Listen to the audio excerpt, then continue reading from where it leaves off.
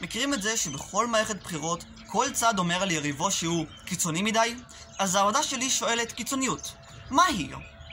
שניים מההוגים החשובים ביותר באנגליה בזמן המהפכה הצרפתית, תומאס פיין וויליאם גודווין. כל אחד מהם קיצוני מחברו בדרך שונה. פיין מהפכן, הוא רוצה להוביל לעולם החדש על ידי uh, מהפכה בדיוק כמו בצרפת. גודווין לעומת זאת לא מאמין במהפכה, אבל הוא סוציאליסט ואנרכיסט מושבע. קשה לומר מי מהם קיצוני יותר מאחר. המהפכה הצרפתית ב-1789 יצרה מפץ חדש של רעיונות באנגליה. החשוב והמרכזי שבהם זה רעיון של זכויות האדם הטבעיות. תומאס פיין נחשב למבשרה המרכזי של גישה זאת.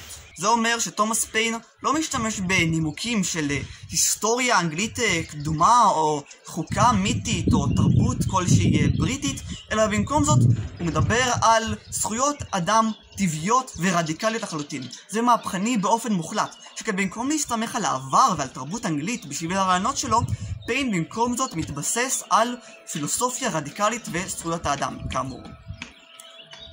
פיין אומר שצריך להוביל לעולם החדש, הדמוקרטי, הנאור, על ידי מהפכה. אין סיבה לחכות שהוא יגיע בפני עצמו. אפשר לעשות זאת על ידי מהפכה מהירה בדיוק כמו בצרפת. גודווין לעומת זאת, לא מאמין במהפכות. אבל בעוד פיין רוצה שבעולם החדש לא יהיה מונרכיה, יהיה הרחבה של הדמוקרטיה והקלה במיסים, כל אלה אה, רעיונות מאוד טובים, גודווין מתנגד לרכוש אה, פרטי ולממשלות באופן כללי. בעוד שגם פיין וגם גודווין מאמינים ש... שממשלות זה רע, רק פיין מצליח להיפטר מהם לחלוטין בעולם האידיאלי. זה מראה את האופי הקיצוני בהרבה של אה, גודווין על פי פיין.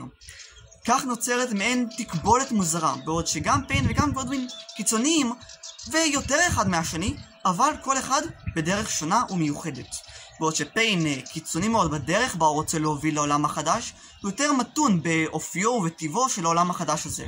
גודווין מצד שני, הרבה יותר מתון בדרך בה הוא רוצה להוביל לעולם החדש, אבל קיצוני בהרבה בתכלית אליו הוא מבקש להגיע.